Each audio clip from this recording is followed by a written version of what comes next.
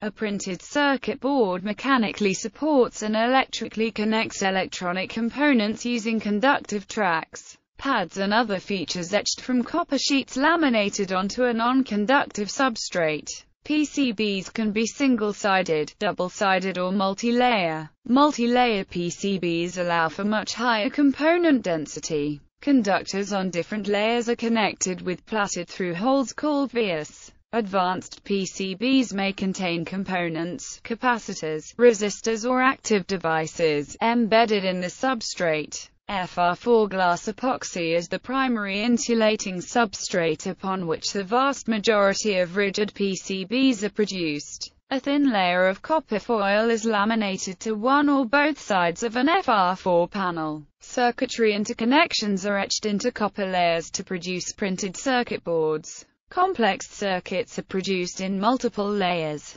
Printed circuit boards are used in all but the simplest electronic products. Alternatives to PCBs include wire wrap and point-to-point -point construction. PCBs require the additional design effort to lay out the circuit, but manufacturing and assembly can be automated. Manufacturing circuits with PCBs is cheaper and faster than with other wiring methods as components are mounted and wired with one single part. Furthermore, operator wiring errors are eliminated. When the board has only copper connections and no embedded components, it is more correctly called a printed wiring board or etched wiring board. Although more accurate, the term printed wiring board has fallen into disuse. A PCB populated with electronic components is called a printed circuit assembly, printed circuit board assembly or PCB assembly. The IPC preferred term for assembled boards is circuit card assembly, and for assembled backplanes it is backplane assemblies. The term PCB is used informally both for bare and assembled boards.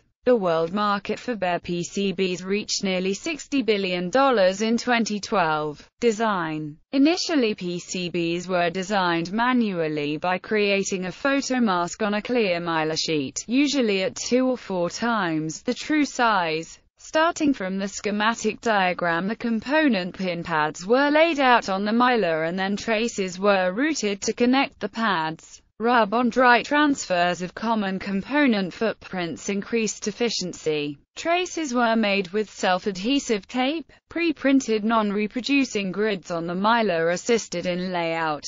To fabricate the board, the finished photomask was photolithographically reproduced onto a photoresist coating on the blank copper-clad boards. Nowadays PCBs are designed with dedicated layout software, generally in the following steps schematic capture through an electronic design automation tool. Card dimensions and template are decided based on required circuitry and case of the PCB. The positions of the components and heat sinks are determined. Layer stack of the PCB is decided, with 1 to tens of layers depending on complexity. Ground and power planes are decided. A power plane is the counterpart to a ground plane and behaves as an AC signal ground while providing DC power to the circuits mounted on the PCB. Signal interconnections are traced on signal planes. Signal planes can be on the outer as well as inner layers. For optimal EMI performance high-frequency signals are routed in internal layers between power or ground planes. Line impedance is determined using dielectric layer thickness, routing copper thickness and trace width. Trace separation is also taken into account in case of differential signals. Microstrip, stripline or dual stripline can be used to route signals. Components are placed. Thermal considerations and geometry are taken into account. And lands are marked. Signal traces are routed. Electronic design automation tools usually create clearances and connections in power and ground planes automatically. Gerber files are generated for manufacturing.